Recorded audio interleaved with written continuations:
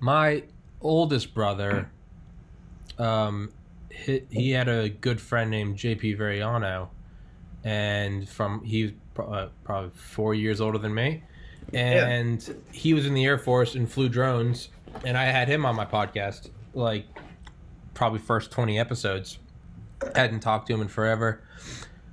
He, I asked him if he had any friends or I knew anyone, and he put me in touch with um, with another one of his Air Force friends, Nick Phelps. I had Nick on. We had a good podcast. He put me in touch with Dan Libby. Dan and I did a couple episodes, and I kept bugging him about aliens. And he was like, I don't know anything about aliens. And he was like, you know, he's like, I, I know a guy who uh, was an Air Force historian. I was like, yeah, man, ask him. And then finally, after three episodes, he's like, yeah, so that guy's my brother. And I was like, why did you withhold that the whole time? I was like, why didn't you just tell me that the first time? And uh, yeah, so yeah, actually, yeah, now that I think of it, yeah, it's been a long chain of events that's led me here, but I'm finally here and I'm going for the answer. So um, awesome, awesome. Why don't you uh, why don't you introduce yourself? Because uh, I never give adequate introductions, so. No problem. So my name is David Libby. I was um, the Holloman Air Force Base Air Force historian, late 1995 into about late 1998. So about a three, about a three three and a half year time period mm-hmm. in there. Um, it was definitely during the the Clinton administration was the big part of that. Um, and uh, being the historian, I actually cross trained out of one job in the Air Force into that job, and I I didn't know what I was getting into. I didn't mm-hmm. realize just how small of a career field the history office was, it, and it's it's made up of civilians and military personnel. Mm. And eventually, I think over the years, I've been out for quite a few years now, but they um, probably went more to civilian operators yeah. than they did military necessarily. Yeah. So what all does that what all does that consist of? Being a like a base historian is that just is that is it smaller stuff like keeping minutes, or is it just in general like the actual history of the base? I I'm completely in the dark. I don't know. Well, I, I was too. After I, I mean, I really was. I'm like, what am I getting myself into? I was originally stationed at Edwards Air Force Base, where, if you're familiar with that, have all kinds of testing programs. And there's a connection to our topic that we're going to be talking about today through Edwards Air Force Base and some other places. People have this misunderstanding that historian is like a glorified secretary, and so you are just taking minutes or whatever. Yeah. But it, but in a nutshell, it's every six months you're writing what I call a current history, even though it's six months in the past. Okay. So as long as the predecessors have written their histories, then you're only six months behind. So you're writing current uh. history every six months. So you're publishing two uh, documents, be it classified or unclassified documents, depending on where you work. Uh, and there may be elements of both in in those documents but every six months you're producing something. Mm. And at the time in the 90s, as you may be aware of, man, internet technology was horrible. It sucked. Yeah. It's still, you know, word processing sucked. It's, yeah. I mean, I was a lot. We had DOS printers still. Uh, I mean, it was horrible. And then you had to take an already antiquated system and classify it so that when I did my classified work, I could only use that one system that it's the old dial-up spin up. Yeah. I mean, it was horrible. Yeah. But that's what was secure at mm. a mm-hmm. time. It almost seemed like analog compared to nowadays. Yeah. So you write a current history. It's published, and it's published in triplicate. Okay. And so it's maybe 100 plus pages per document with about 12 to 15 source documents that support all that evidence. Okay. Now, I'm under the impression that in years past, when before it was the Air Force, the Army Air Force, they may not have had the exact same guidelines of um, publication that I did when I was serving. So, for example, um, I couldn't tell you off the top of my head if it was triplicate when it was produced, when it was originally written, like it was when I was in during the 1990s. So, uh, but they had copies. They had hard copies. They had digital copies, and then Air Force Command gets a copy, your base gets a copy, and then Air Force Command, you know, Mhm. nationwide, they get a commit. So it's all in the repository. Mhm. All the information you can think of is there. And so when I wasn't writing history, I was reading history. Yeah. And so I had this huge top secret vault in my office. I mean, I thought it was a bank vault with a, you know, the, the, oh, Yeah. the dial in combination and you had to change it every so often. And it, it was a big deal, man. It was a big deal to walk into that. And I was a little lowly E4, Yeah. you know, so Yeah. truck the whole history program for that base. So, so you produced a a every six months it'd be you produced a classified and an unclassified. So there's the classified history, and then there's the I guess public knowledge history or publicly accessible history. Well, the one when I was in, because of the weapon system that I wrote about, it was all classified. Ah, Right. And so uh, I can only talk about so much of it, but it was the F 117A stealth fighter. yeah, And so tracked its history from the deserts of Nevada. yeah, And then when they became publicly operational, let's put it that way, um, that's when they got stationed at Holloman Air Force Base, and then that's where I kind of came in and kind of continued that history for the about the three years that I was there. yeah. So it was kind of interesting, So when people asked about you, well, before it was publicly operational, right? what was uh, what's the what's the go to response? Just you didn't Uh, say that. Well, Swamp the gas. go-to response is that the stealth fighter was operating years before anyone thought it was operational. Yeah. I mean, we're talking back in the 1980s, Yeah. mid late 80s. It was operational, and people had no clue whatsoever what was flying over their airspace and hitting targets. Everyone going, "What the heck was that?" You know, Yeah, I mean, yeah, all of a sudden you didn't even hear anything, even though it made sound. yeah, But you didn't hear anything. You didn't see anything on radar. All you knew is that something just got blown up, yeah, Yeah. and you have no idea how. yeah. And then all of a sudden, the ground the ground team would come in and kind of mop up. So it was kind of interesting. Have you read? uh I always bring up books on this podcast. Sure. I always say read. I listen on Audible, and I don't read. It makes me sound a lot smarter. Everyone's always like, "Oh, you dude, you're so well read." I'm like, "Dude, I play video games, and what I do is I is I mute it because it's a video game I've played a million times. right. So I mute it and I listen to audiobooks. Mhm. so that's my way of learning. So I'll be playing, just I'll be driving around, you know, just blowing up cars, but I'll be listening to like a history of the ancestry of FDR. So when I pull these facts out of nowhere, it's always like you sound so well read, and I'm just like, man, it sounds so much better than it looks. But uh, um, that being said, have you ever read or listened to uh, Skunk Works by Ben Rich? I've heard of Skunk Works. Uh, I I haven't read that book that you're referring to, um, but I had to become somewhat familiar with Skunk Works, Hmm. seeing how there's connection there with the F-117. Yeah, And so it, um, I'm not sure what the premise is or the argument or the claim is in that particular book. Maybe you can fill me in and I can Oh, kind of touch base on that a little bit from what I know. Oh no, it it's it was more just a history of his time at Skunk Works. It was just, Yeah. but yeah, it starts with the F one seventeen. Yeah. And uh, it starts with they're doing like a test and they're having it fly over some radar and they're down there with the ground unit. And the ground unit, obviously, it's it's need to know, so they all they know is they're testing a new stealth thing. But it was so it was a special access program, so it was so secret that they had figured out like a geometric like a geometric configuration that reduced its radar, uh, radar cross section to that of a, a ball bearing that they didn't even let the people in the military in on that. Right. They're, they're like this is a this is a paradigm shift in military superiority. I mean, he describes it as like we used to send multiple planes out on multiple sorties to hit one target. Now we send one plane out on one sortie to hit multiple targets. He's like, it's a complete. He was like, it was you know it was the biggest shift since really thermonuclear weapons, and in terms of just getting a, a pa- just a leap ahead of everyone else. So he goes, it's coming, and they've got the they've got the chase plane, and uh, he goes because we couldn't tell them how this was going to evade radar. We had to make something up. So he goes, yeah, there's a Ben Rich goes, yeah, there's a little uh, there's like a box in the in the nose cone. You can't see it, but it's a stealth box and it jams radars. and so the thing comes over and it they see like the chase plane and they, they they paint the chase plane, and all the radar guys look at it. I'm like, is that it? And then they apparently everyone gets quiet, and they're like, what is that? And they just see a black triangle go overhead, and nothing pings. And by Right. that time, if if they had been enemies, they would have been blown to pieces.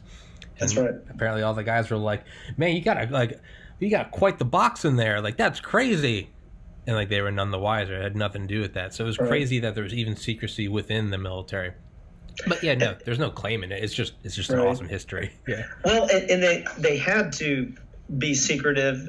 You know, anytime these, anytime the military creates anything top secret, they divide out the contractors who build these things. Even mm. to that way, even the, that way, if they're captured, I guess by the enemy or Yeah. something, tortured, they can't tell them everything because they don't know everything. Yeah. And it's done that way for a reason. Yeah. Uh, what's interesting though is the the stealth fighter, and this has been since declassified, is it it it only carries two bombs, Yeah.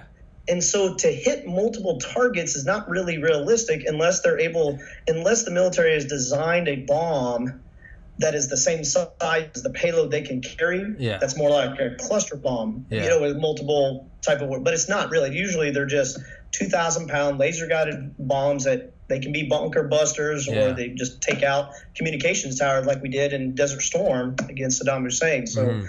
it's, it's two bombs, and that's it. No machine guns, Yeah. nothing. Yeah. It cannot fight air to air. Yeah. It's air to ground, and then get the heck out of there, and let's get home before they realize we were there. And Yeah.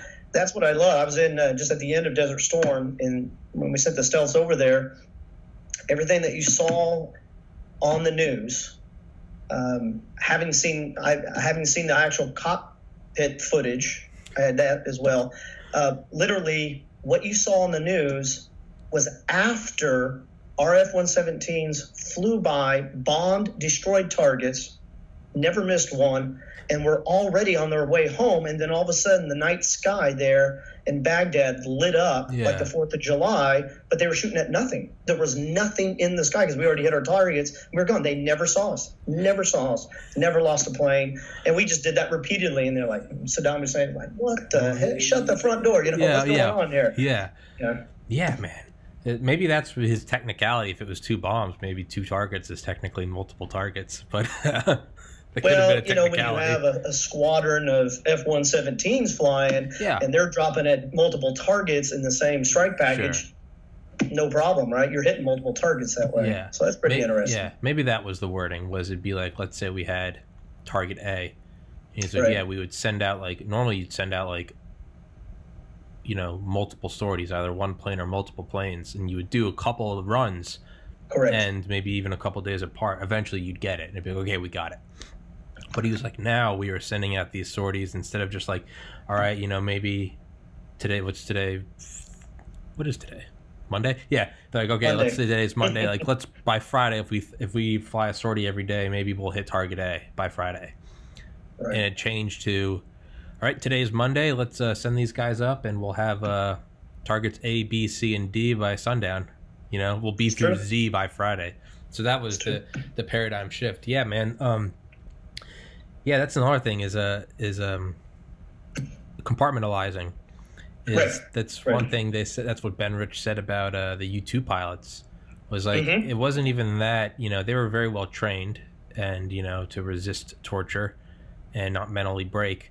But he's like the best insurance against not having them break is have them as in the dark as their captors are. Be Mhm. like, be like, Mhm. I get captured, and they're like, Tommy, like, where is the B two station? I'm like, I don't know, man. Like, you, like you know, you can, you can, you can chop my hands off. You can start breaking bones. I don't know the answer. So it's That's right. That's right. yeah. So uh yeah, on like classified stuff. So I I actually called Northrop Grumman a couple weeks ago. Wow.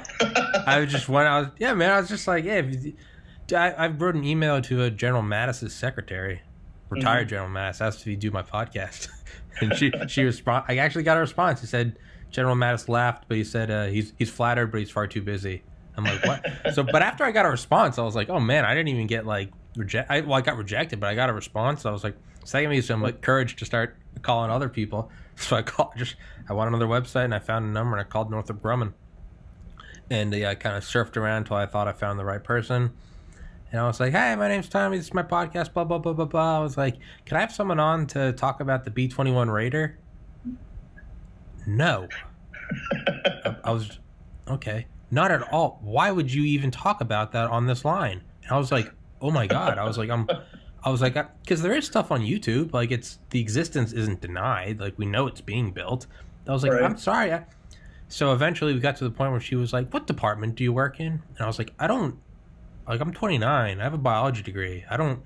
And she was like, "Oh, apparently, I had somehow gotten a number, like, f- in like an intra company number."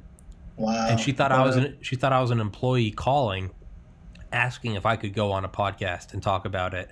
And she was like, she was like, Okay, employees are not supposed to talk about it, even on the lines. And I was like, oh no, I'm just like an idiot. I'm just I don't know you. I was just she was like, oh, I'm so sorry. And she was like, yeah, that's a big no no. And I was like, okay. So I gave her like my email and phone number, and she's like, we'll get back to you. They never got back to me. But yeah, so uh, yeah. You're lucky. You're lucky you didn't have uh, black suited men come knocking on your door. Well, I, I, I know. I, well, I talked to Dan. and Dan goes, "Oh, they absolutely thought you were probing."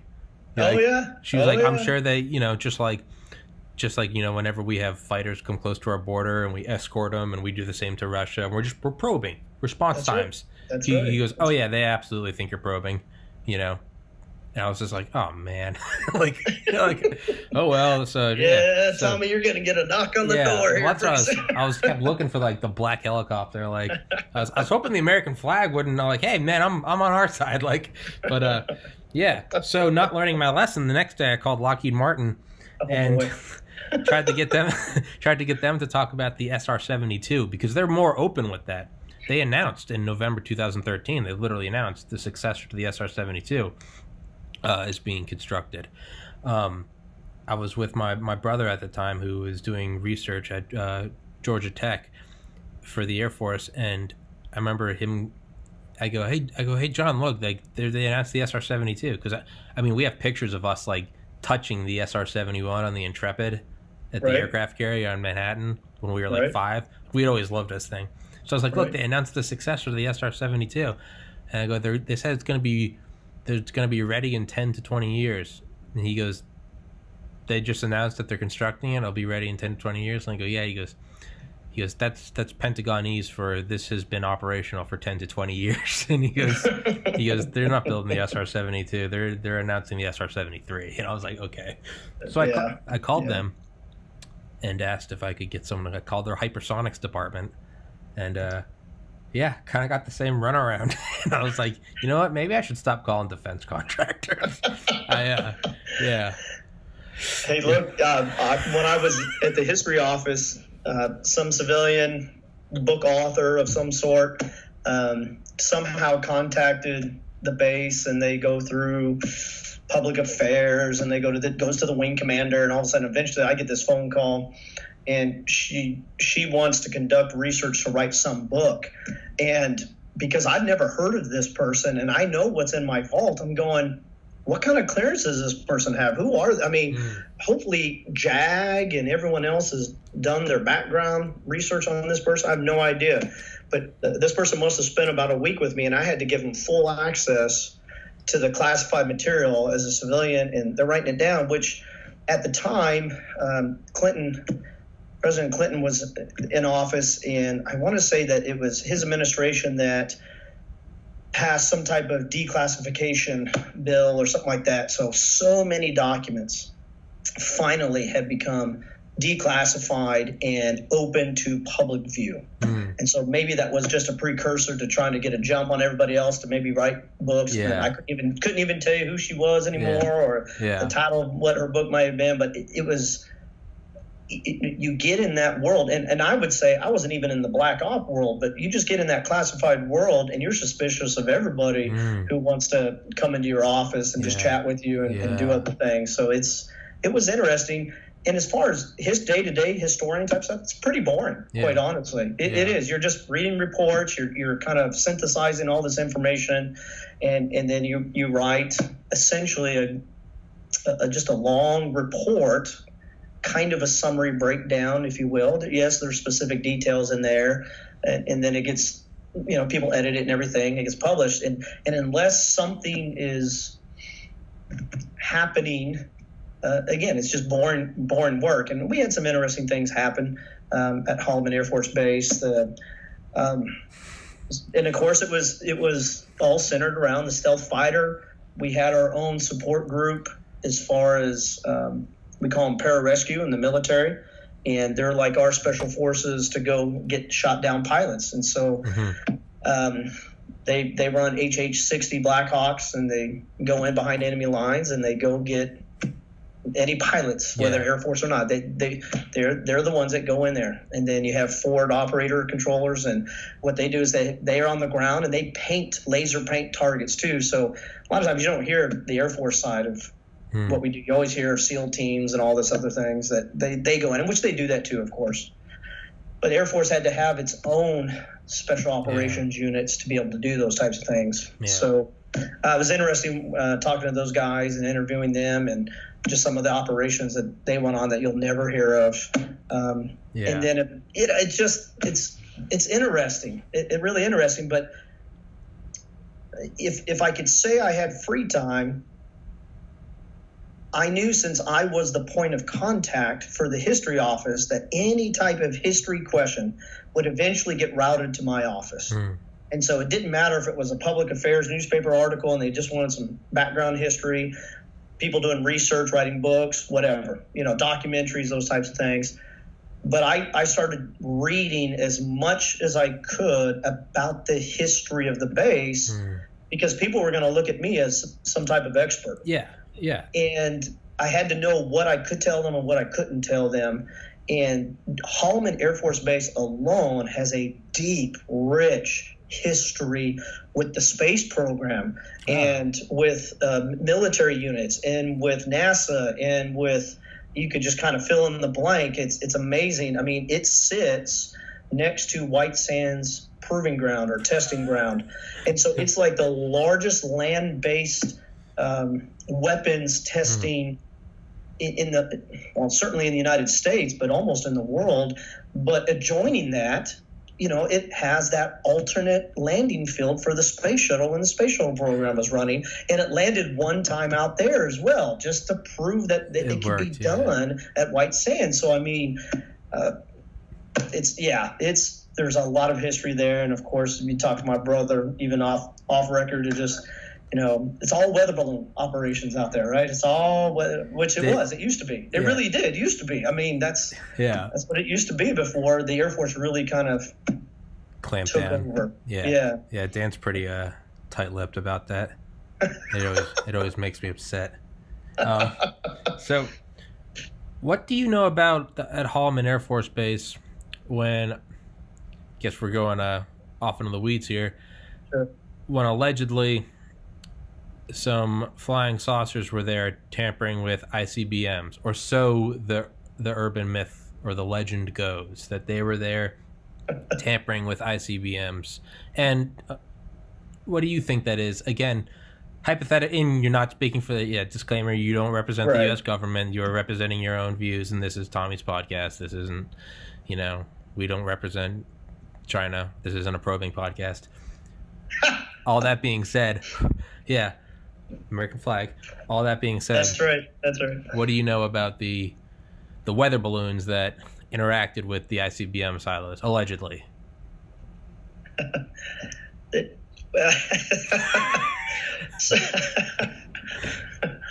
Remember, I can um, edit anything out. None of this is live. Sure, so if, any, sure, if any part sure. you're just like, "Hey, take that out," I can take it out. So, uh, yeah, people totally mis- misinterpret my laughter right there. Right? It's again, so much actually, Tommy, is is widely publicized. Anyways, it really is. You can go into the public record and you can research all this.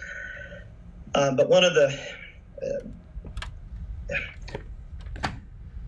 so it was white. It was before it became Holloman Air Force Base. It was White Sands mm-hmm. testing base, basically, essentially White Sands proving ground, and uh, it's, it's so important to remember the context when all of this was happening. Now, now you mentioned ICBMs, right?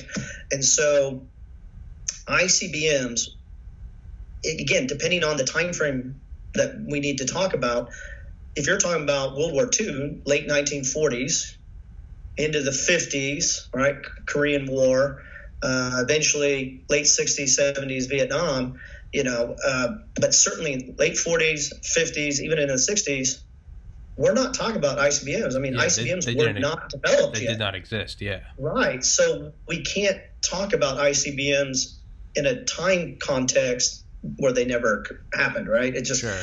so all we had was these huge, expensive B twenty nine super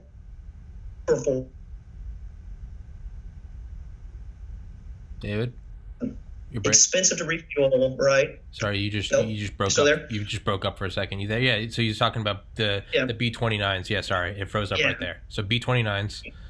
Right. They were the only weapons platform, if you want to call them that, that could transfer from point A to point B, like deliver a payload of, of a nuclear bomb. Yeah. That that's all the U.S. had. Yeah. So no ICBMs, nothing like that. We, you know, we barely. I don't even know if you could truly call them missiles in World War II because the V two rocket Yeah, was V2. designed by Germany in World War yeah. II. So yeah. everything was done with bombers, essentially. Um, nothing like it is today, of course. So you got to look at the payload. You got to look at the transfer system. What, what could carry a nuclear weapon from point A to point B and drop it successfully, hopefully on the target? Yeah. And and you know, with an atomic bomb, you just it's like horseshoes and hand grenades. You just need to get close. Yeah. Yeah. You And it's gonna, need. Yeah. it's gonna wipe out everything, right? Yeah. I mean, um, so it depends on the context. If you're talking about that context, certainly no ICBMs. Um, so what did we have? We, we, So- we already had. We really did have high altitude, mylar designed, mylar material weather balloons. I, I guess is the best way to, to call it. But they weren't just simply weather balloons to send up a weather balloon to, okay, in the upper stratosphere or something, you know, Yeah. 15 miles plus, you know, high. We're not just recording wind speeds and whatnot.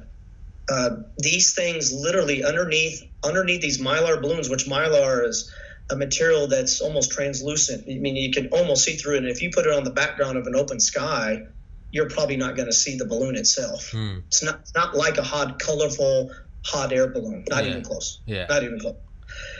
But they had to have some way of tracking these hot air balloons up in the sky. So either they were tethered to a really long line, miles of cable, so they could bring them back down. Mhm. But also underneath them, they carried a payload. Well, what was the payload? All these really weird spaceship looking saucer boxes Yeah. that were made out of metal that carried radar equipment also Mhm. and we could with what radar we had back then you could send a signal up and ping the weather balloon even though you couldn't see the weather balloon Mhm. necessarily on radar you could only see if you knew where to look you could see those metal objects Hmm. and let me tell you they do there's some on display out there at um, white sands army air um, army base and out there close to Holloman Air Force Base, they're side by side. Uh, you can see they. I swear they're spaceships. Yeah. I swear they look exactly like the 1950 science fiction Yeah. saucer Yeah. spaceships, little green men. Yes, they. Some of them do, and some of them look like cigars, cigar shaped. I mean, Mhm. you're going. So it's it's it's not a surprise to me why people would think that it really is. If you just look at the evidence there, it's I'm not surprised. Now, Yeah. what do you do with them though? That's that's always the key question. Like, what do you do with these hot air balloons? We're in the atomic age now. Yeah. We've only got the B twenty nine that is strong enough to carry this heavy payload. The, um, I've been to Trinity site. I've stood at Ground Zero. Oh, really? I've seen them. Yeah, it's great. They open it up twice a year to the public there in New Mexico, so you can go. Hundreds, thousands of people go and visit this thing every year. But you're going, okay, that was the first time the atomic bomb was actually initiated. Then we send two over to Japan. Those things are good size, and they're heavy. Mhm. They're so heavy. Nowadays, what they put in an ICBM is small in Mhm. comparison. What's so large is that rocket that has to go into a lower orbit, you know, Yeah. to transverse the globe to be able to hit your target on the other side. Yeah. That's the big part. The payload is small, Yeah. and you can carry multiples Yeah, warheads yeah, MIRVs. payloads, right? Yeah. So Yeah. now, not back then, man. One huge bomb to do the same thing that we can do with more now destruction with one ICBM, you know, that type of thing. Hmm. So, how do you transport? How do you transport nuclear weapons where the enemy doesn't know that you're transporting them? I don't know. Put them on a balloon. Put them on a balloon, Maybe. right? Maybe. Maybe. So, that's a suggestion. So put them on a balloon, send them over. They don't know what to look for, and all of a sudden, you're dropping nuclear bombs. So maybe just tuck that in the back of your head for a little bit, and we can play with that a little bit and see. But there wasn't, there was no other way. Yeah. I mean, Yeah. to transport Well, J- weapons, perhaps. Japan tried to firebomb the U.S. with uh, incendiary bombs strapped to balloons. I think they sent like a hundred thousand over the Pacific Ocean. I think one made it. Yeah. And I believe it actually killed someone like a year after the war. And it's the only, yeah, aside from Pearl Harbor, it's like the only mainland uh, casualty of the war. I think so. Yeah, I think, so. I think it was like Yeah. 1946 or something. Was in like Seattle or something. Someone was in the woods and like an incendiary bomb went off. but it's it's not really a far fetched idea. I mean, Germany Yeah. was using hot air balloons and stuff too. For uh, we were using hot air balloons back in the Civil War, yeah, and Oh, literally yeah. we the North and the South, whoever was using them, would literally would drop the equivalent of a hand grenade and take pot shots yeah, at the enemy Oh, yeah. using hot air balloons. So it's it's not that far fetched in one sense. Now the question is, but what about the Roswell incident? yeah. So Right? You know, yeah, I mean, yeah, yeah. how So does this all tie in? yeah, so so um, I had a friend on the other day, and we were talking about this, and we actually kind of came, kind of did some research during the podcast and made a connection. So we were talking about like, what if you know, let's say fireworks are illegal, right? And let's say I'm here at my house. Say it's just me and some friends, and we we get a huge bottle rocket, whatever, Roman candle, what you know, whatever, just a bunch of you know kids are doing. And we fire it off in the sky big boom maybe break some windows right? 10 20 minutes are going to pass and eventually actually i don't even know why i'm using this as a hypothetical. I vividly remember my freshman year of high school me and my friends shooting bottle rockets at each other. We'd we'd like use trash can lids and sh- and like then we'd go back and hide in the garage and we'd wait for a couple minutes and like sure enough you'd see a squad car roll by and you know they didn't know exactly where it was but they knew it was one of the houses in the cul-de-sac. So you know they come close and there's a little bit of time delay. So right. time delay and a little bit of a they get within the area spatially. So the first nuclear test was on july 16th 1945 alamogordo new mexico as you know trinity test site roswell was eight days shy of exactly two years later hmm August, or sorry, so July 16th, 1945, July 8th, 1947. Correct. So time delay, right? Correct. Correct. Al- distance between Alamogordo and Roswell, 117.2 miles of the Correct. of the 24,000 mile across Earth. Correct. Two years, almost to the day, 117 miles, and the only place, the place where we set off the very first nuke, not Hiroshima, not Nagasaki, but the very first one, the metaphorical Roman candle. Right. And not only that, but as you said, where the, the 509th was stationed, the only atomic bomb wing, not just in the United States. At that time, it was the, the U.S. Army Air Forces. This is before the Air Force. Correct. So it was not only the only one in the United States, it was the only one in the world. The only atomic Air Force wing was also right there. So it's two almost two years later to the day, only 117 miles apart. It's where the first nuke was, and it's where the nuclear wing is. It is kind of weird that, again, this is all allegedly, but it is kind of weird that that's where a flying saucer would visit, isn't it? It's the, It is. It's the squad car. It's the squad car rolling by, and it's like, hey, humans have been killing each other for eternity, whatever. Y'all just unleashed the nuclear bomb. Like, okay, this is civilizations make this jump. It's like it's like puberty for a civilization. You've hit the You know, now you're not just an angry little kid. Now you're an angry kid, but you have muscle and a growth spurt, right? So now, so now humanity is we got this little temper tantrum, but now we don't we don't have to throw dumb bombs or muskets. Now we're you know, we're, we, what did Oppenheimer say? The power heretofore reserved for the gods. Like Right. that's so. What are your thoughts on that? Is that am I drawing too much of a? Am I anthropomorphizing it? Am I making Sure, too much sure. of a an easy argument?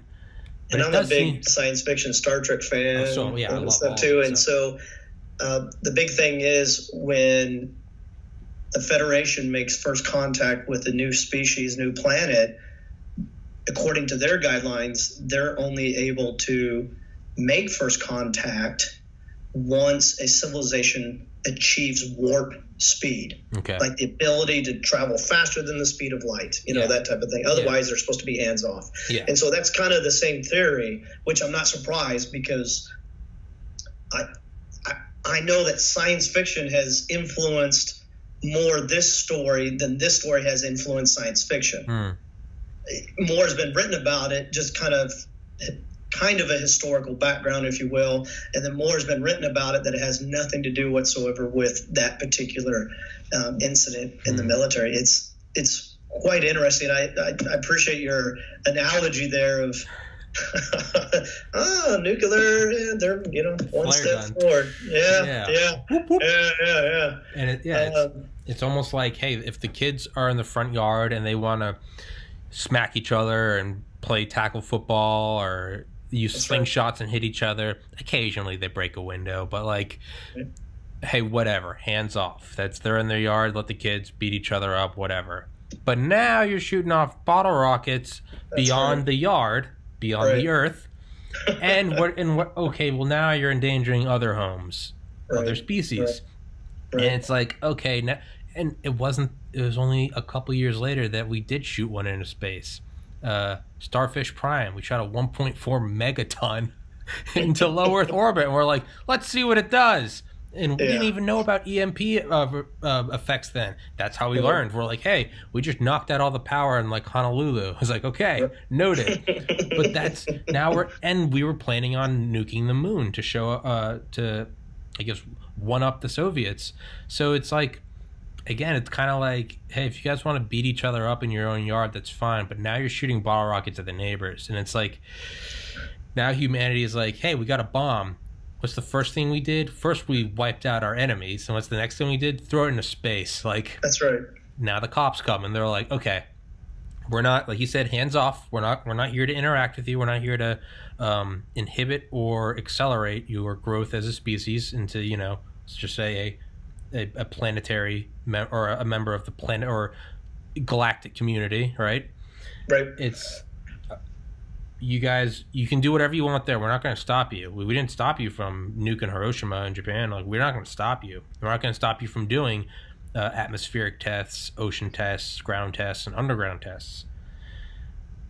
But now you're starting to come into space. You can't do that.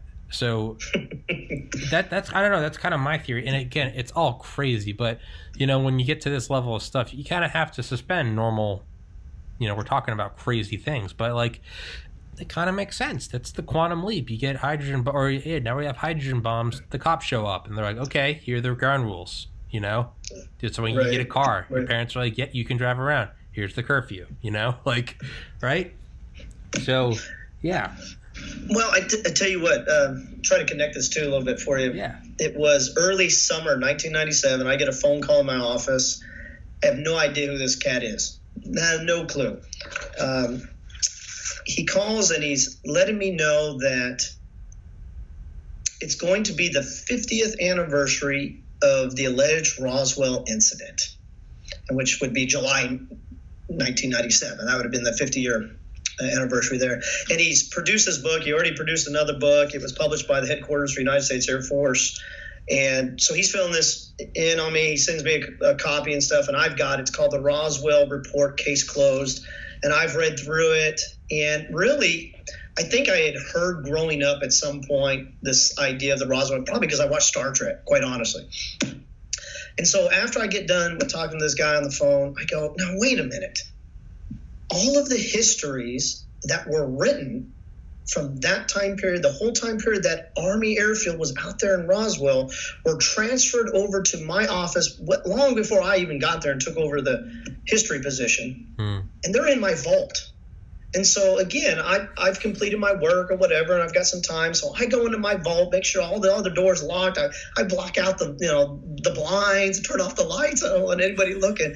And I'm I'm going through, and I go, oh, there's that history. Oh, there's that history. So I'm pulling volumes off the shelf, and I'm just reading through it. I'm like, you've got to be kidding me. Now again, it's been years since I've done this. Okay, so I don't remember everything but I'm reading through and I start to see some some blackout stuff, like someone had gone through there and edited it, so to speak, and this, that, and the other. But it just so happens I have that copy, but I had, there was the original copy as well, and so I was able to kind of compare and contrast these two things.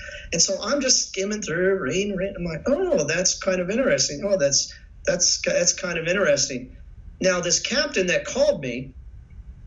Um, and because all these things had been declassified, mind you, they they for a couple years at least or so they they they researched all this material. So what I had was again duplicated somewhere else, and so they had access to this as well. And so I'm reading about the nurse, the doctors, the so-called whatever, but the thing that doesn't line up at all is the dates are different. Hmm. Now, now my two copies are the same. What I mean is, it does not correspond with 19 July 1947. Really?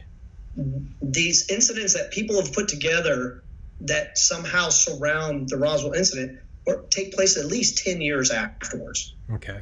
And so you've got all these different incidents that people have just lumped together with the Roswell incident. It makes a much better story, quite Yeah. honestly. Yeah. And and if you're from you know a U.S. military government side point of view, you're going, you know what?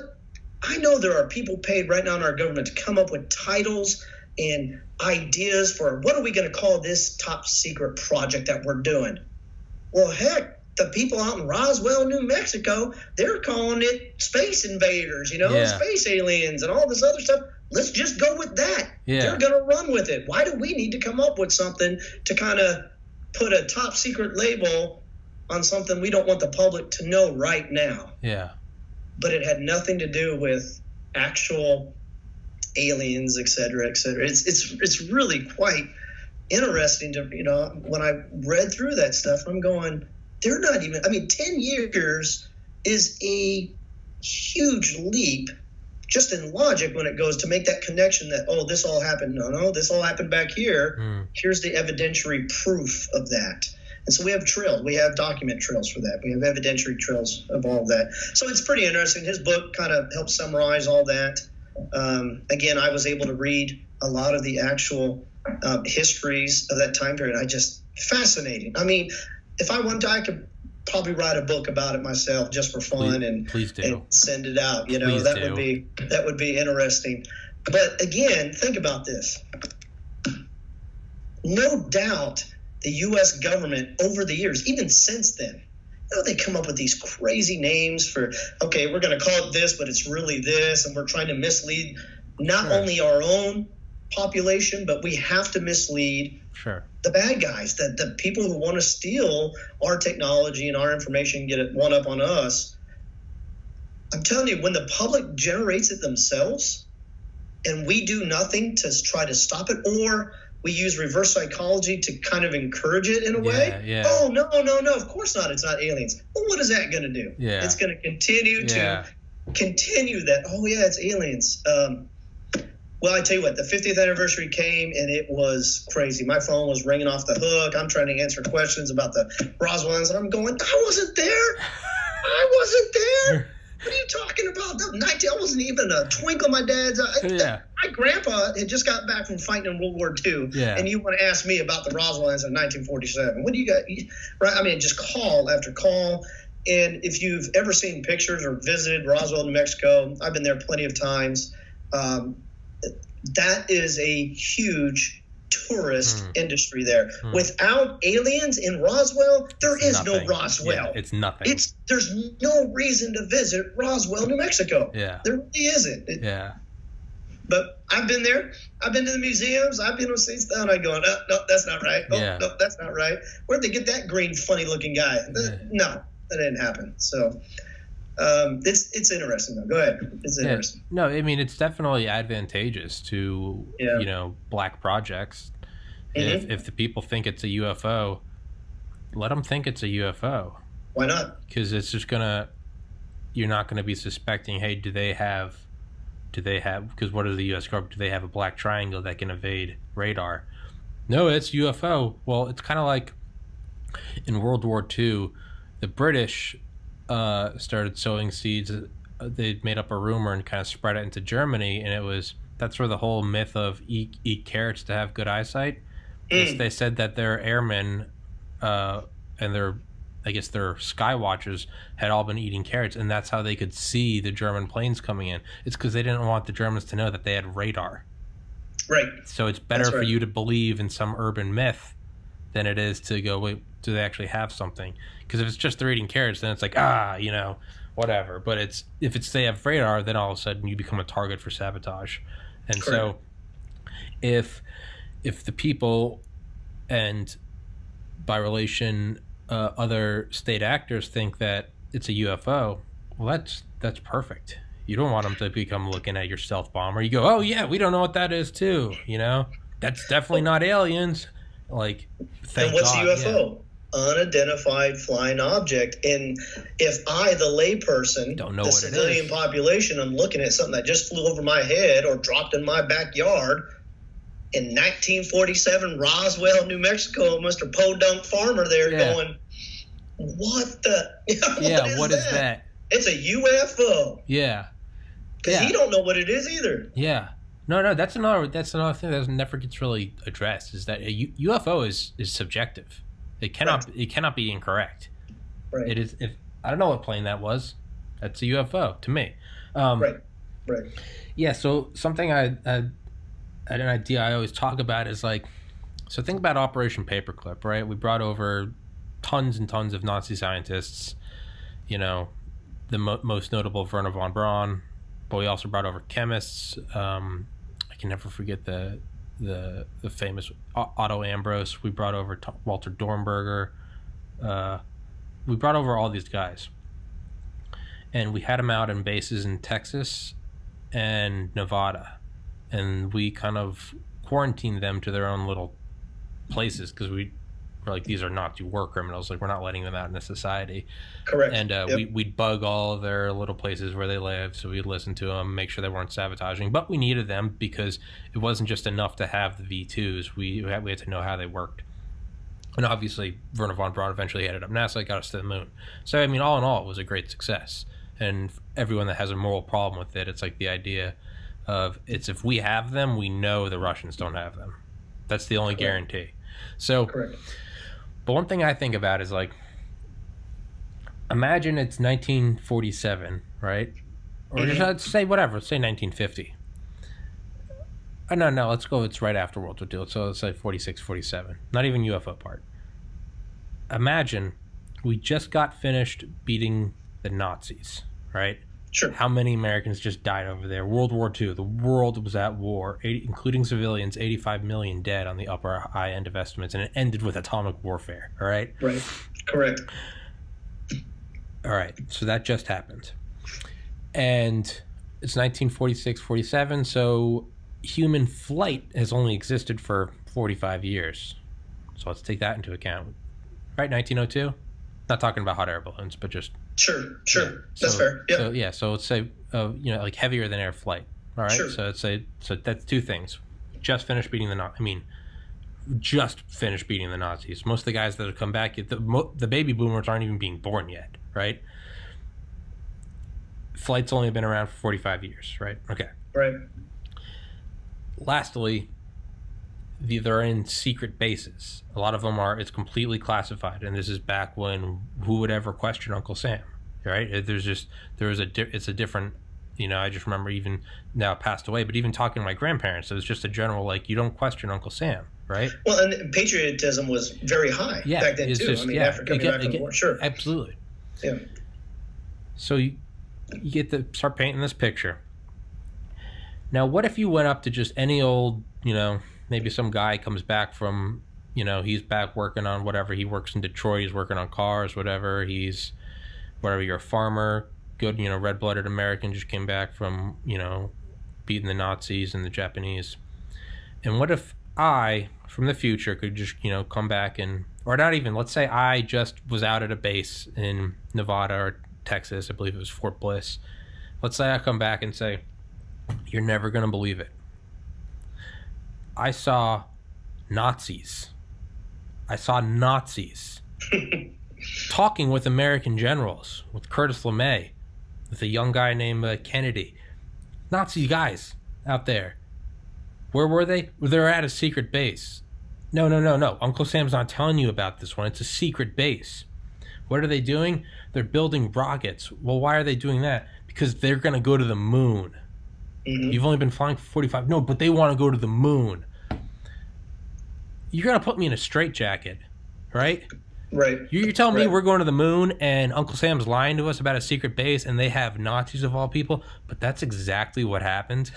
Right. That's it's, right. It's, it is, it is stranger than fiction. it is it's like that's exactly so the way I always look at it is like if if that happened and if you would put yourself in that time period, it's like the strangest thing you could ever imagine. It's like that's actually what happened. I then look at just current day and I think whatever's like the strangest thing I could imagine. who's to say that there's not going to be a podcast in 2100 where like imagine it's 2020 you know right. you're doing a That's podcast right. and you're talking about you guys are going aliens couldn't possibly exist like little did they know so that's that's what i think of as like what is this the insanely just ridiculous far out there like ooh but it's like in a hundred years it's like people are just like shaking their heads like they had no idea like so I, I I try to look at aliens or UFOs. I try to look at it just you know as rationally as you can. I try to look at it as like what would be the actual um, incentive to keeping it quiet. Well, you don't need to go on the whole oh the public can't handle it. No, there's a very real incentive. It's technology, just like we keep uh, stealth quiet. You know, Defcon Sure. 17, just like we Sure. the Manhattan Project. I mean, Sure. 150,000 people worked on it one that only 1000 of them so that's another thing is people it's like a hundred it's not that 150000 people worked on it and didn't know what they were working on 150000 people worked on it and they didn't know they were working on it. They didn't even know that they were being compartmentalized. Correct. it's one thing to know you're compartmentalized. It's another thing that they didn't even like energy production in tennessee. It was like what? They had no idea that they were helping build a fission bomb. It was just 1944 we're just doing whatever. But like and, and that's the other thing too is yeah, I, I, I don't know what will I mean I, I wish I could have a time machine that would go forward. Yeah. I mean that's just as fictional as anything Sure, else sure. but what, what what will they say Yeah. years from now 100 years from now you know a thousand years from now whatever um, I, I always often wonder about the why do we want to believe in aliens Yeah. from some other part of the galaxy, whether known or unknown, or uh, I don't know why does human why are we so yeah. caught up in this? What what caused that? I mean, I'm not going to find an answer to it. I know that already, but we are fascinated by that, and I'm not talking about all the kooks yeah that um, just recently. What was it? Um, the what area, was it? Just a few months ago, they were out area there. 51 and- raid Oh, oh my gosh! yeah that was What they don't realize is that those MPs and contractors would have shot them dead if they crossed that line. They, it's, like, have, it's like all those those people are idiots, man. all those people that were like you see the memes where it's like the us government wouldn't kill 10,000 of us uh, oh yeah. but here's the other thing. Here's the other thing. Where they were at, it's miles before they would even actually come to a structure Yeah. that might house Yeah. something of importance. Yeah. Miles. yeah They literally have no clue what they're what they're. yeah, yeah. It's, it, it's set up the way it's set up so that you can't just run it. It's in the middle of the Nevada test range, so that there's even if you break the the even if you get past the perimeter, you still got 150 miles on foot through the desert. like it's designed that way for a reason. It's you know with the with the stealth project they they were flying men and women um, out of uh, the Las Vegas airport on airplane. And Yeah. this again, this has been this is all documentary. Oh yeah, no, stuff, so- yeah, yeah. The, the um, Janet but they- Airlines. but, yeah, the airlines though, all the windows were sealed, blocked out, so they couldn't see even out the windows while they were flying. Uh-huh. And for the longest time, uh, they didn't know exactly where they were going either. Yeah. All they knew is that okay, I got in an airplane in the desert, and when I got off the same airplane, I'm still in the desert, but I don't know what desert I'm in. Yeah. It is far you know whatever. And they may have taken different flight patterns and flight time to kind of mix it up in their mind psychologically too. Absolutely. but it happened all the time. And it's called the tonopah test range. That in actuality area 51 was a civilian creation there was no there is no area 51 it might be area 52 but there is no area Yeah. 51 and i don't even know how that caught on honestly. You're just going where's this area 51 i searched my records for it too because i knew somehow that was going to come into play with this roswell incident and stuff. I'm like there's no mention back then of an area 51 there's no. What is mentioned is the that roswell army airfield that you mentioned you got white sands proving grounds out there Groom Lake. It's right Yeah. you know huge this test range and everything you're going that's what's mentioned none of this so-called area 51 and i think that's more sci-fi yeah. than anything else it really is I think I think they probably just let the public run with it. It's why not the only explanation I've heard is like the because the Nevada test site is massive. It's It is. It's it's, Yeah. it's like isn't it like larger than Rhode Island? It's it's like it's the biggest government parcel, but I think it's bigger than I want to say it's. I think I heard it's bigger than Connecticut. It's insane. It might be. It's it's if anything, it's close to the size, approximately. Let's say, for argument's sake, uh, of even the White Sands testing range. And the White Sands testing range, is basically the southern end of Albuquerque, New Mexico, all the way down into Texas, at the northern end of Fort Bliss Army. Uh, army base, basically. I mean, it's miles Oh, of it's insane. and well, again, New, New Mexico, though, is the fifth largest state in the entire United States. Yeah. Nevada is pretty large too, being out there. Who wants to go out in the middle of that desert? But I mean, they've got the wide space. It's government controlled for the most part, Yeah. and well, it's secluded. I mean, Yeah. it's perfect. Yeah. perfect for these things. Well, yeah, no, it's absolutely yeah. There's no conspiracy behind beyond that. Yeah. It's just like it's a huge plate parcel of land. It's not valuable land. It's not like hey, Right. we could be putting you know valuable commerce and industry there. It's like it's it's in the middle of no. There's mountains everywhere. It's Mhm. you know so that that blocks vision. There's again desert. If you're a foreign saboteur, like good luck surviving in Death Valley. Like you know, That's right. not That's even right. security, just good luck. Know, right? Right. if you That's do survive, you're gonna get bit by a snake. It's, but, but yeah. So the only explanation I ever saw was that when they had this huge, when they started to take over this huge plot of land, it was, it was literally just, there was nothing woo woo about it. It was just, they literally just mapped it out as a grid, Sure. and it just so Sure. happens that Groom Lake is in grid 51. Right. Said it was Yeah. that, that's all it is. It could just as Exactly. easily said it's it's arbitrary. It could air, just as easily be known as Area 30. Like it's It Um, is. Uh, one of the times when I was in the history office, and this is after the 50th, or around maybe around the same time as the 50th anniversary of the Roswell incident. I got a phone call, and these two older gentlemen came in the office. So they face to face came in the office. Again, we shut the door. Men in Black. Uh, not Men in Black. I was surprised. They they were they were older gentlemen, and I got a chance to interview them one on one, basically, Hmm. uh, as we were in there. So the three of us just sat down, real casual um, environment there, and. I'm not going to tell you the name because I can't remember the name of this the one guy, but this was the guy that the government put in charge of the of the Blue Book reports. Dr. And J. so- Allen Hynek. They- go ahead, Dr. J. Allen Hynek.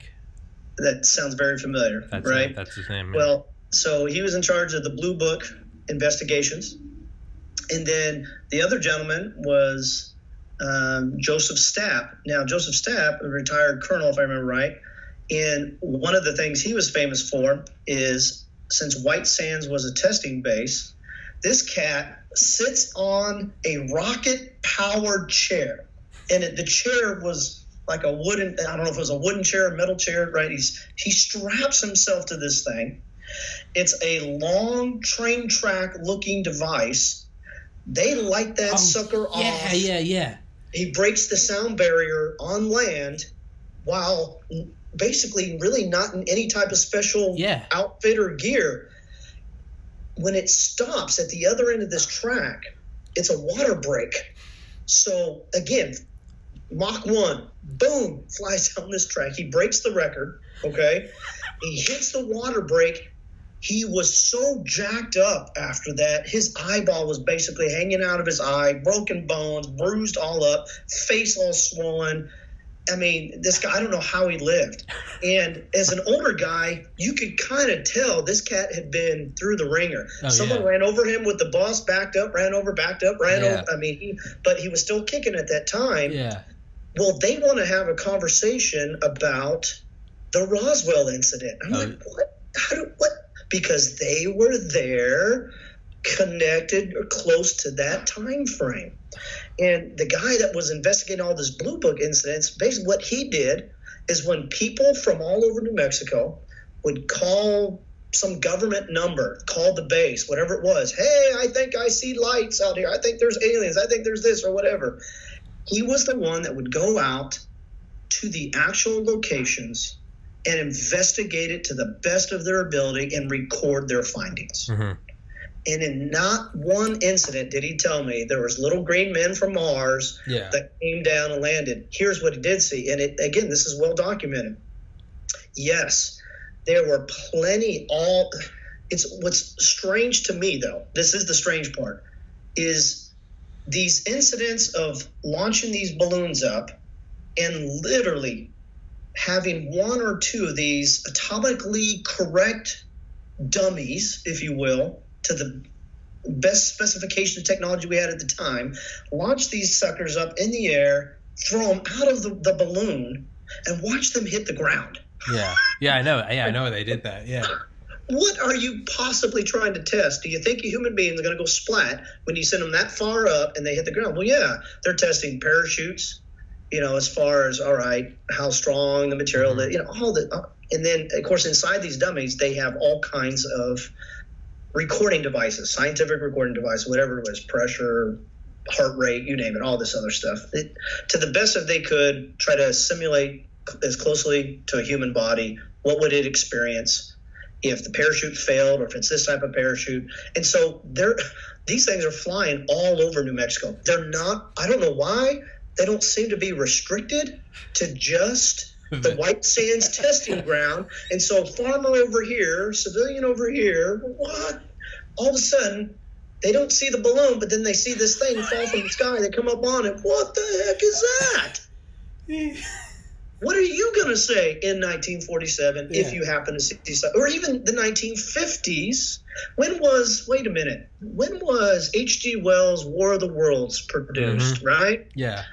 Green Martian, you know, all this stuff coming together. It sure, it, it makes a great story Yeah. but they have some of these. Um, at at least they did at the time. They had a couple of these on display at the uh, White Sands History Museum, Air and Space History Museum there in Alamogordo, New Mexico. Uh, while I was the historian out there, I built a display separate from them, but they have those in the museum. You Hmm. could probably go online and see the pictures of these things. I don't know how you look at this and go, "That's an alien." Hmm. I, I none of the picture, the actual pictures I've seen in the history documents and everything that I even had in my office, that I don't know how you make that leap from, okay, that's an alien. Now, again, if you use the strictest definition of the word, that's alien to you because it doesn't look like you. It's foreign. Sure. It's different. Yeah. it's It's, it's alien. it's alien. I get that. But this guy investigated all that, and he going, David, that's there was none of that. You you've heard you may have heard stories about oh the lights in the sky they're swamp gas. And I go it's a desert. There's no swamp Yeah. in the desert right? Yeah. I'm going but I've I grew up in Southern California. I was stationed at Edwards Air Force Base got stationed restationed at Holloman Air Force Base. I lived in the desert most of my adult life, and I tell you what, the sun sets out there, the sun rises, the lights in the sky that you see sometimes when you're out in the middle of the desert, you really can't tell what they are. I mean, you really can. To say they play tricks on you at times, I agree with that. I mean, sure. just seeing different light phenomena. It's not the aurora borealis, the northern lights, of course, but you just go, well, that's really interesting. It's, mm. it's reflection of something or this, that, mm. and the hmm. other. And he was able to prove all that, that none of that stuff that was called in during those times were actual aliens. And then you mm. got, like I said, this Joseph Stapp guy just blowing records left and right. Um, he was living during that time period as well. I don't know if they're even alive today. I mean, this was almost 20 years ago since I've been out. Now, this is back in 1997 that I talked to them. Um, but it's, I think, part of this mystery. Reason why it's still a mystery is because Holloman Air Force Base has had that rich, deep history of everything. Enos the chimp was trained out there, and he yeah. was the one that was launched into outer space yeah. before the first human, you know, astronaut was. Yeah. and they still, when I was there, they still had that test facilities, buildings, and stuff. And let me tell you, there were still protests going on during that time frame because you know we were abusing all the social justice warriors yeah. of that time period. You weren't even called that, but they were protesting oh cruelty to animals and this. I'm like, I don't know about you, but I'd rather send a chimp up there first yeah, before yeah, I go up there. Yeah, we don't. Who's gonna? Anyways, it, it, Holloman Air Force has all this, all this wonderful history that a lot of it is still uh, somewhat classified because of the weapon system platforms and everything that they have there. And now it's the F it's it's a premier F twenty two base. Hmm. So stealth fighter has been retired years ago. It got replaced with a fighter wing again with the F twenty twos, and a lot of those that weapon platform is still classified as far as what it really can and can't do, and that's hmm. fine. Hmm. I mean, we need we need that type of protection in yeah. this country. We yeah. don't need to let all of our enemies know what we can and can't do. But yeah. Uh, really interesting. It's yeah. there's a lot that has happened out there yeah. during that time period. What do you think that they are testing out there now? So let's not even let's sure. let's bring sure. it bring it no pun intended bring it back down to earth and because yeah you're right. I mean, dude, the flying saucers, the aliens, they're they're so fun. That's what it is. It, is they're fun. They're fantastic. They are they are awesome. Like they are. It's almost like I heard a quote that was like we want to believe in UFOs because it's almost sort of like a like a patriarchal longing. You want mm. there to be some other civilization that's got it figured out, right? Yeah. You want there to be someone that's got their we you know we cured aging, we have hyperdimensional travel. We so right. it's almost like a sort of longing for like someone to show you the way. Sure. But it's sure. also it's it's it's an escape from the mundane, you know. It There's is. nothing, you know having heating and air conditioning and modern antibiotics and internet like it's all great and stuff but yeah used to it but man some aliens like I, there's it's the great unknown but yeah so to pull it back down oh, i think i think they're still testing weather balloons out there. Yeah. No i, I know they are actually. They're so from time to time they're still testing weather balloon technology has gotten better over the years. But right when i was getting out um, the stealth fighter had not been retired yet and i they were they were using a lot of the the new drone systems at that time, and, and the drone systems at that time uh, probably were you know the the ancestors of what we have now, but they were basically just the intelligence gathering type of drones, as opposed to hey, let's strap that Roman candle bottle rocket yeah. on the wings and use it as a weapon platform, also, which yeah. that's what we have today too, yeah. apparently. So they they started getting in all that. I know it's probably blossomed since the time um, I've been there, um, but I think too, the one of the missions of Holloman Air Force Base at the time was not just not just having the it was the Air Force's mission as well. You know, having air superiority, having the best technology and equipment to be able to carry out the defense of this country and, and our allies um, but we would train other countries there as well. I mean, for the longest time, they had the German Air Force there at Holloman Air Force Base. Really? And so the Germans come over, and you had this large German population, uh, which was really great for the economy there. Uh, had some really good restaurants, and if you like German food, you know, give me the bratwurst. Let Yeah, me tell you, yeah. Just- that does it for me. But we were training.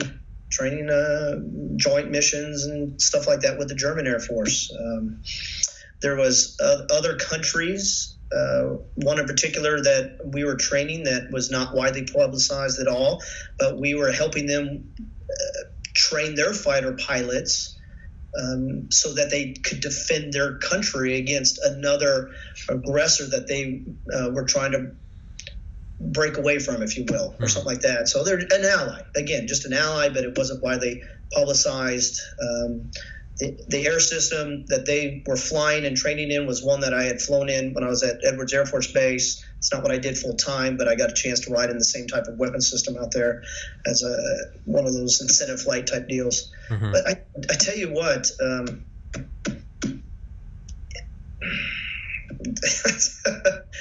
I, I think the again I've been out for a long time, so I think the main thing is, is it's that F twenty two weapon platform. Mm. Uh, an amazing, amazing piece of technology that the thing could do about Mach three, unclassified Mach three without even breaking the kicking in the afterburners. You think so- the F twenty two can do Mach three?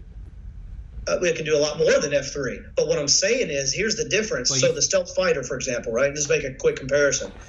Stealth fighter, it it was not built or designed and could not, without maybe gravity, break the sound. It couldn't go Mach one. Yeah. As soon as you break the sound barrier, that creates a distortion wave that now with technology that could be picked up on radar. Yeah. And so you can track these distortion waves with the right equipment.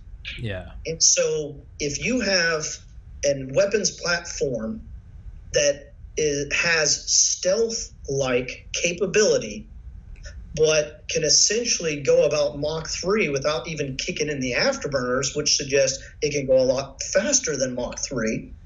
So even though it's breaking sound barriers and stuff, it still has stealth like capability. So it, it's limited, but uh, what I'm saying, it's just it's an amazing platform. I just think about that for a Yeah. second.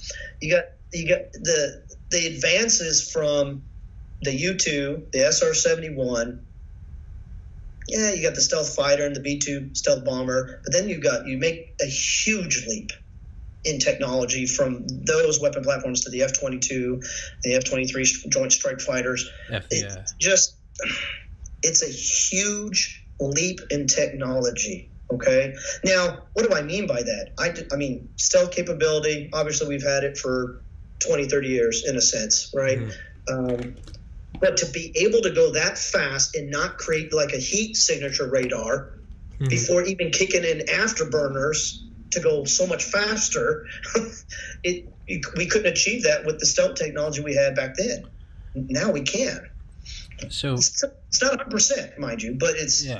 it's pretty close So you're saying that the F twenty two can go that fast? I thought the F twenty two could only go like Mach one. f-22 can go about plus mach 3 let's put it that way if it needs to it can The F twenty two can go Mach three. if it needs to it can I've never heard that. Really? it take you take uh, an F-15 weapons platform. The F-15 engines, those General Dynamic engines, can accelerate while going vertical, straight up. Now you, enhance that technology with that weapon system. It's easy to be able to go Mach 3. It really is. It's not. That's not a barrier that we cannot break nowadays. Yeah. But how long can you sustain it, right? Sure. I mean, you you can't do Mach three in a combat situation. Sure. The G forces that would be Would pulled in an actual dogfight, it would kill a human being. So, but I want to run and get away. Just I'm gonna- yeah. I'm kicking it. If I kick in the afterburners, I'm going even faster. So. It'd be interesting. Yeah. See, stealth fighters can't do that. It's Yeah. not a fight. It's not a real fight. It's really a small bomber. Yeah. That's Yeah. all it was without afterburners. Yeah, Ben Rich said the reason they called it the F one seventeen instead of the B one seventeen, they said it was purely pilots' egos. Pilots Sure. were like, "I'm not a bomber, I'm a fighter pilot," so they're like, "Fine, we'll call it the F." Like, but they're like, for all intents and purposes, they're like, "It's the B one seventeen." It is. But apparently, all these hotshot fighters were like, "I'm not going to fly this. I'm not going to go into this program," and they needed these top guns, and they're like, "We got to lure these big. We got to lure these guys in here," but they've all got you know egos, Yeah. so they're like, "Hey, you know what? It's the F one seventeen, and then they're all like, "All right, yeah, I'll do it." And I was like, "Whatever." Um, you know, I, I was back in. Uh, we were living in Las Cruces, New Mexico, before moving here, and uh, this was well about three, you know, up to three years ago. So kind of in the the uh, mid 2000s to the mid 2015, you know, kind of time frame in there. And I tell you what, I can still hear sonic booms from time to time, knowing that the F 22 was at home Holloman Air Force Base.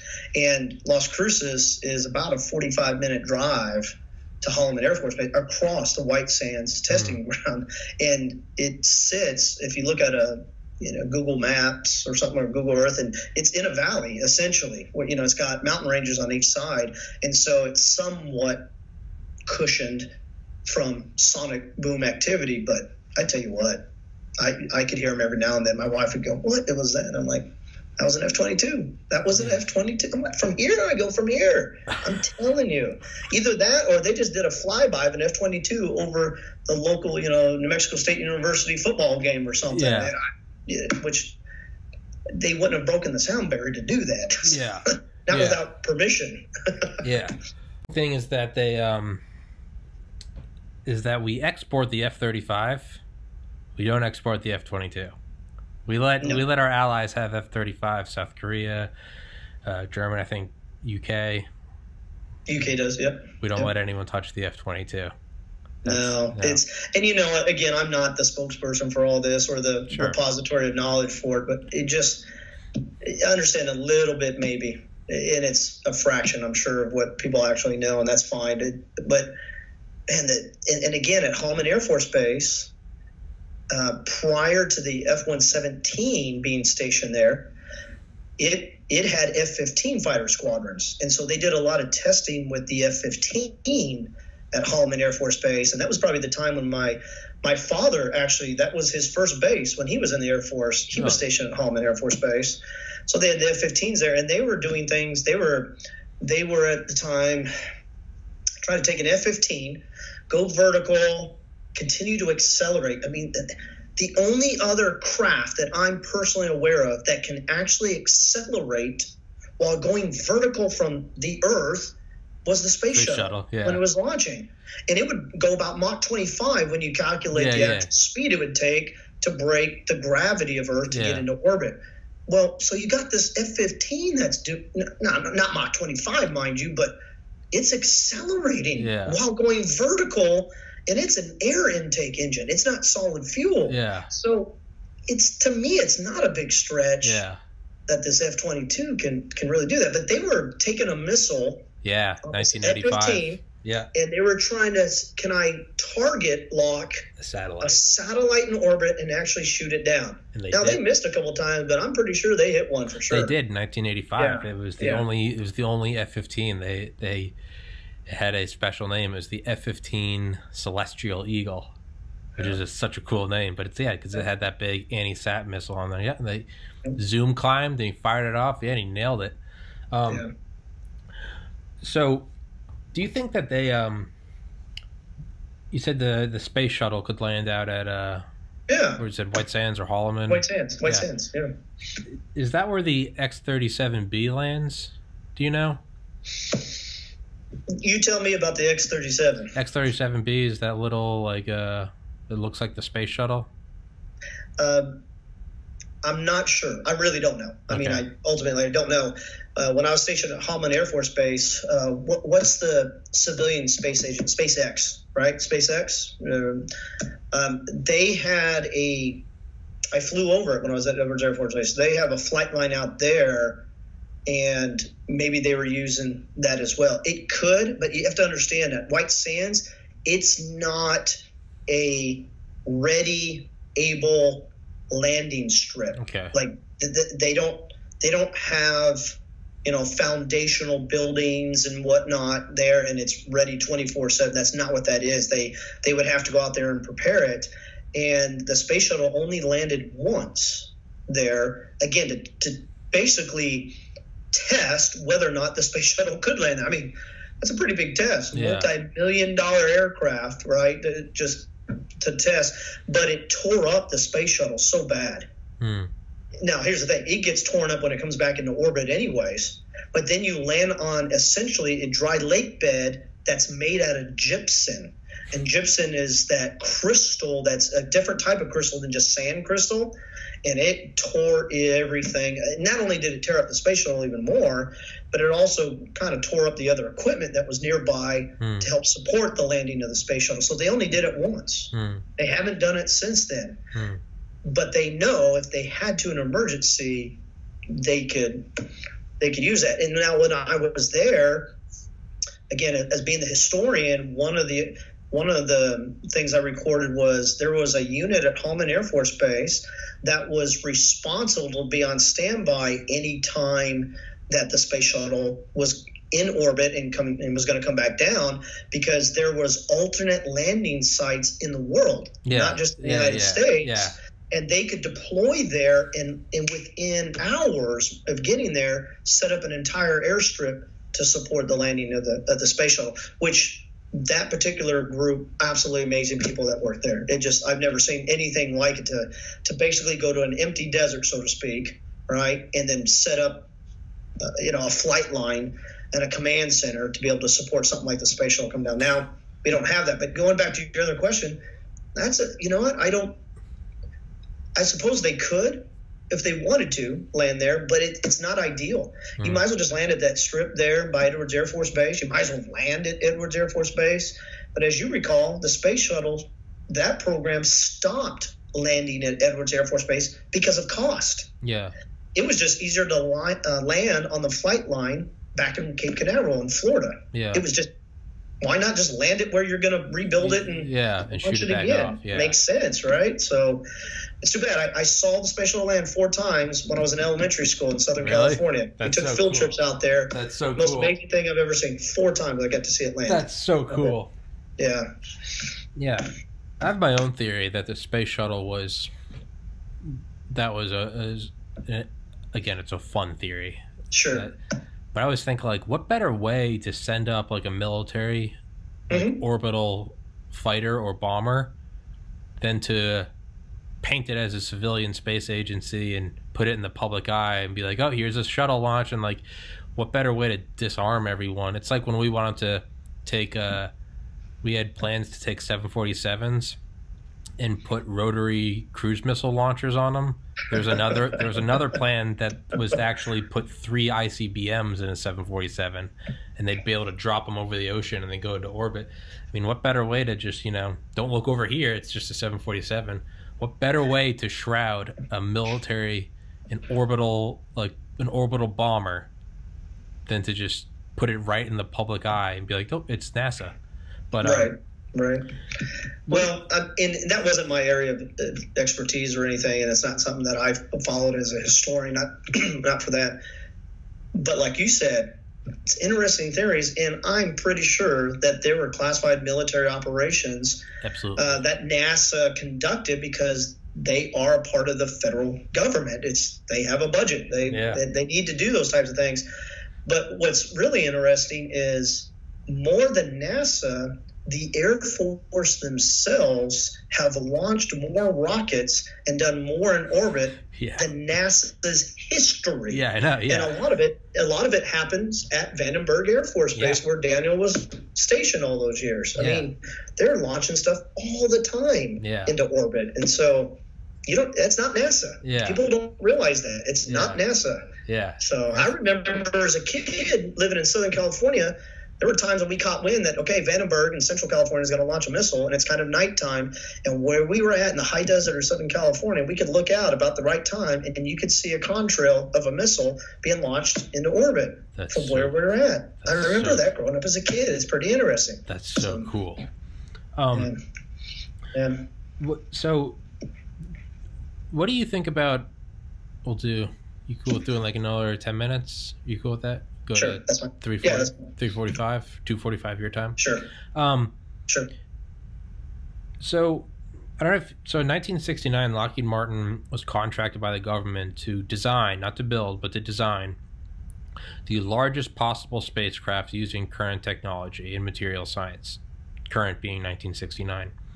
Right. It, it was just it was kind of a thought experiment, but it was also, you know, what if what if our aircraft carriers are taken out, and what if we are because you know public opinion was shifting. We didn't know if that would go to global opinion shifting about Vietnam, you know, so we want to prepare for a future where our allies, you know, all of like our bases in Germany and Japan and South Korea, like what if one day they just booted us out? Like how are we going to prepare for that? and what they came up with was the Lockheed Martin CL 1201. And it was a flying aircraft carrier. And I'll send you a link after this. I'll text it to you. It's sure. awesome. Sure. Had a wingspan of 1,120 feet. it was powered by a, I think, a two gigawatt nuclear reactor. It could stay aloft for 40, oh, stay aloft for 41 days. Go at 30,000 feet. Too big for an airport, so it had 182 lift fans, 747 engines in the wings that would go vertical. So it was, I think it was like 50 on each wing, and then there were banks in the nose. So it was just wow. And this thing would obviously never built, and it would carry 22 F4 Phantoms, 11 in each wing, not under, in. The wings were hangars, and it was supposed to have a crew of 845. So.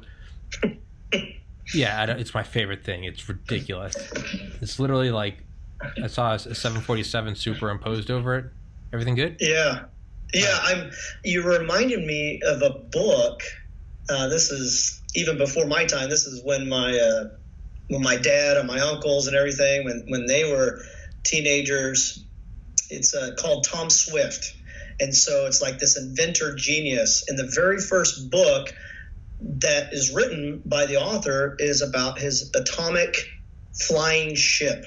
Yeah. And so it has these atomic lifters on the bottom of it it is huge, right? Yeah. And inside, in the fuselage, it has it can have these mini helicopters, a little single seater jet plane, yeah. and stuff like that. It has experimental labs all through it. Yeah. It's it's a great kid story, it really is. And it really gets the imagination going. Yeah. And I'm going. This book is like 1940s, 1950s, something like this, right? Yeah. And I've got the whole first series yeah. that was passed down to me, and now my kids are reading that. My boy is reading that right now. Yeah. Yeah. And so it's this, I don't know if you were able to pull it up there, but I mean, it's pretty, it's almost like what you're saying. Yeah. And I think I saw a YouTube video on that, something similar just the other day. And I'm going, it, it's too big. Yeah. for, it's, it, yeah. But I won't, I, I want to see, what I want to see is the helicarrier from, from Avengers. Marvel. Yeah. Yeah. Now that makes more sense to me. Yeah. Quite honestly, building something to that scale that can actually, like an aircraft carrier, but lift out of the water and whatnot, yeah. and, fly, and then launch aircraft. That's to me sounds even more practical. Sure. But I don't know the physics, and yeah. the, the, cost would be so enormous. It would be. That's why we. That's why the U.S. hasn't done stuff like that yet. That we don't have a budget yeah. for things like that. Yeah. No, no, it's physically possible. It's just right. Who, right. We don't, we don't, who has the trillions of dollars to do that? Um, so I wanted to tie that in with, uh, what's your opinion on the uh, the Phoenix Lights in 1997?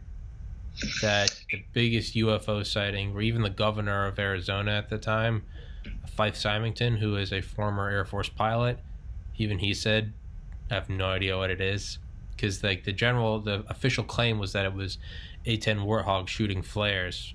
Fife Symington was like, as an Air Force fighter, he's like, I can tell you flares don't stay in perfect formation for like an hour and circle. He was like right. flares, right. these like even long lasting flares.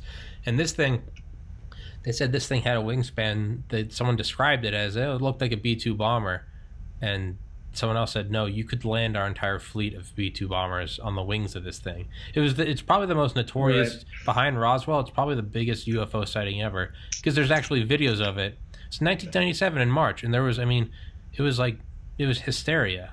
There's tens of thousands of people were calling the police. It was, yeah, Wow. it was a, Yeah. it was a big thing. Yeah, um, Was this at, was this at the Phoenix airport by any chance? This, was, it was I thought I over. saw something It about was that. over yeah. Phoenix. It was just over the city.